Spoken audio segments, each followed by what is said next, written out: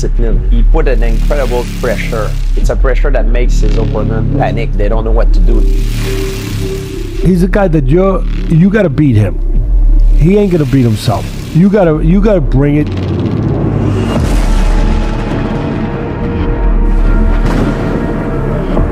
He's not just a puncher. He can actually box as well. He's got good footwork as well. He's 18 and 0 19 victories, 19 knockouts. with 18 knockouts. you know uh, every fight like different different feelings different uh, preparation and it's fight fighters too are different you know it's, it's it's not bad like you know i can't say i did a very bad fight but if i do again i want to do better you know but i feel good because i'm sitting and i relax It's the pressure that he brings round after round that takes time. He evaporates you. And it takes time to do that. His hand speed, the the technique of his punches, like everything, and his fucking strength, man. I'm anxious to get in there with him because a lot of people consider him the best in the division right now.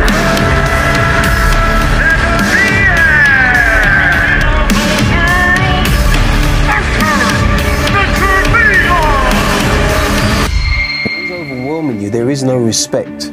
There is no respect for what's coming back, and you've got to make sure you are deterring him. You know, he's got. You've got to be able to deter him with your um, with your ability, your movement, and obviously your punch power to a certain extent. Boxing alone is not going to keep him off.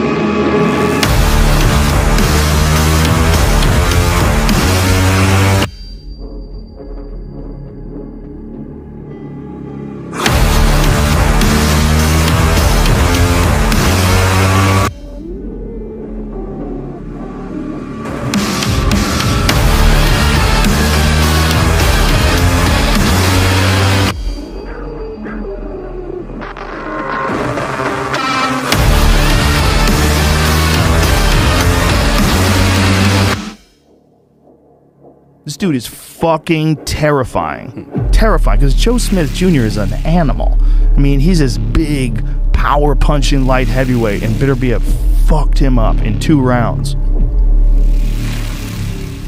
Dude was, a, was an Olympian at that. He fought as, a, as a, an Olympian, a higher weight class, light heavyweight and up. Like he's a he's a big guy shrinking down. That's why he's so damn strong.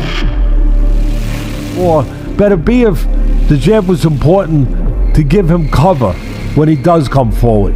You know, to uh, kind of like uh, having a smoke screen as you come forward.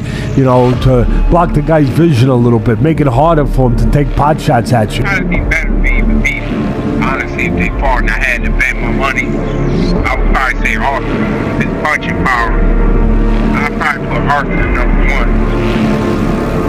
My father is, you know, he never like box until I won uh, bronze medal junior championship, and my father's friends, my all family friends, they all come to our house and do congratulations to my father. And he tells me after that, yeah, if you like box, go.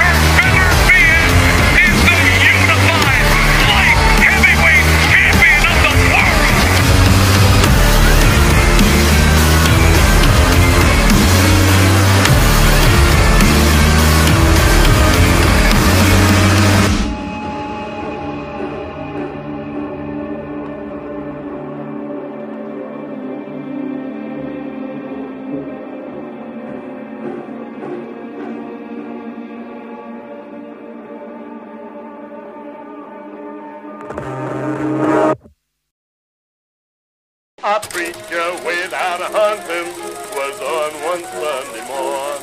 Of course it was against his religion, but he took his gun along. He shot himself some very fine quail and one big measly hare. And on his way returning home, he met a great big grizzly bear.